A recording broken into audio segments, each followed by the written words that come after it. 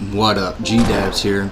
About a month ago or so, I was driving behind a cop car on my way home, and I eventually pulled over in front of my house and got out of my car. And as I got out of my car, this cop's driving past me slowly, and he's looking at me. And I'm, I'm standing there because I'm thinking he's going to pull me over, but he doesn't.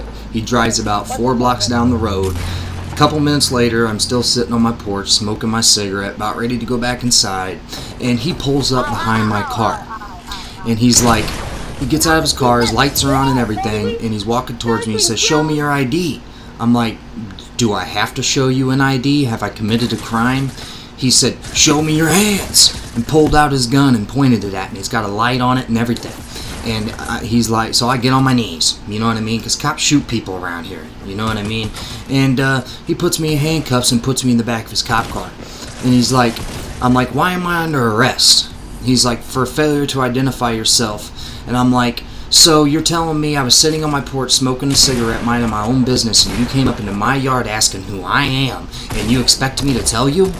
And uh, he's like, well, also you were following too closely to my vehicle.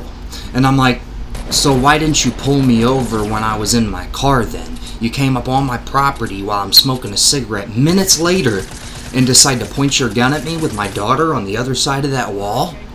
If you would have shot me, dude, you could have hit my daughter.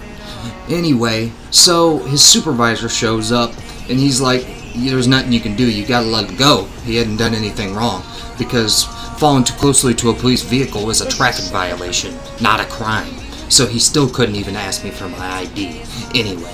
So they ended up giving me four tickets um, because I started talking shit because I was pissed. They shouldn't have been on my property to begin with. And uh, so they gave me four tickets and they wouldn't let me go on my way.